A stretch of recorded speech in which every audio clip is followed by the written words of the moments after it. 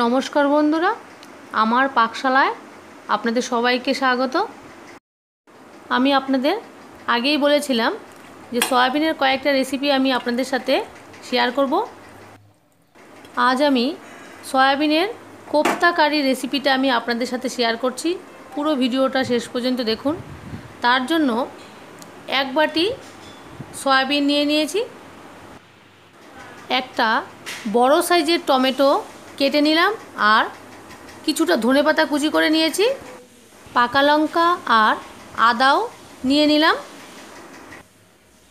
এবারে টমেটো, আদা আর পাকা লঙ্কা মিক্সিতে গ্রাইন্ড করে নিলাম। এখন গ্যাসে কড়া চাপিয়ে দিলাম। ওর মধ্যে দুটো শুকনো লঙ্কা আর ধনে অ্যাড করে দিলাম। হালকা নেড়ে চেড়ে নিয়ে ওর মধ্যে গোটা চিড়ে দিয়ে দেব। চার থেকে পাঁচটা দানা, মেথি অ্যাড করে দিলাম। আর অল্প সামান্য মৌরিও দিয়ে দেব। একদম লো আছে এই মশলাটা ফ্রাই করে নিতে হবে। ফ্রাই করা হয়ে গেলে মিক্সিতে গ্রাইন্ড করে নেব। ঠিক এরকম করে মশলাটা নিয়েছি। সয়াবিনগুলো গরম জলে সেদ্ধ করে নেব। আমি গরম জলে সয়াবিনগুলো একটু ফুটিয়ে নিয়েছি। এবারে জল থেকে নিংড়ে নেব। সয়াবিনগুলো মিক্সিতে ঠিক এরকম করে গ্রাইন্ড করে নেব। এবারে সয়াবিনের কিমাগুলোর মধ্যে বেসন অ্যাড করে দিলাম।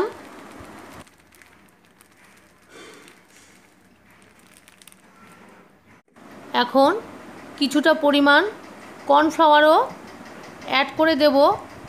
আপনারা চাইলে কর্নফ্লাওয়ারের পরিবর্তে ময়দাও ব্যবহার করতে পারেন। এবারে কিছুটা পরিমাণ হলুদ গুঁড়ো অ্যাড করে দেব। স্বাদ মতো নুনও দিয়ে দেব।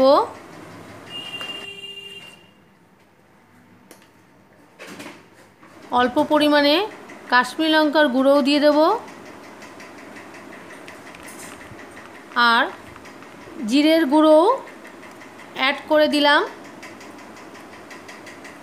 এবারে সব উপকরণগুলো ভালো করে মিশিয়ে মেখে নিতে হবে। সব উপকরণগুলো ভালো করে মিশিয়ে নেবার পর আমি অল্প পরিমাণে কর্নফ্লেক্সের গুঁড়ো অ্যাড করে দেব। ভালো করে মিশিয়ে নিতে হবে। ঠিক এরকম করে মেখে নিতে হবে। কড়াতে সাদা তেল দিয়ে গরম করতে বসিয়ে দিয়েছি।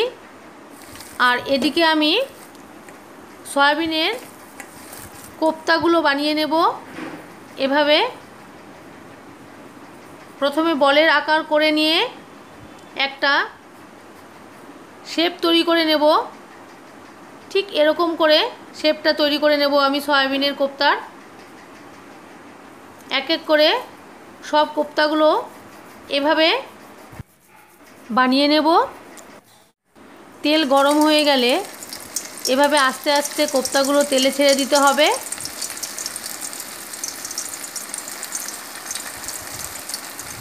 আমি যা কোপ্তা বানিয়েছি, আমার দুবারে কোপ্তাগুলো ফ্রাই করে নিতে হবে।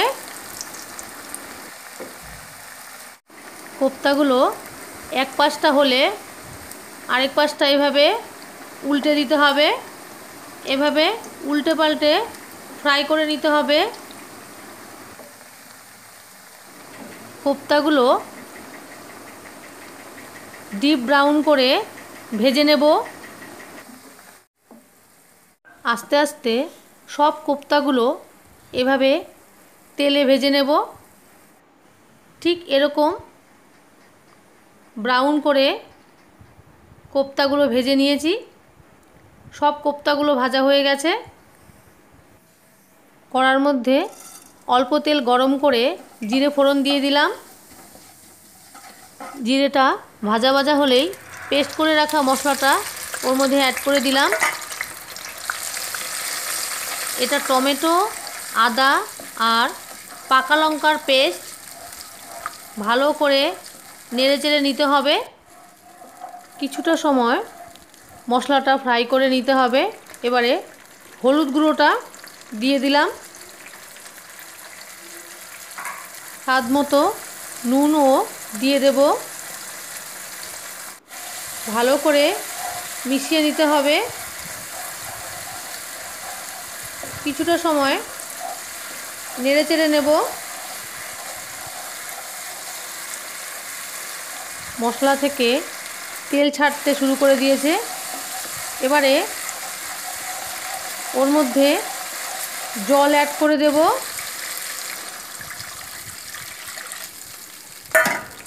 পরিমাণ মতোই জল দিয়ে দিলাম।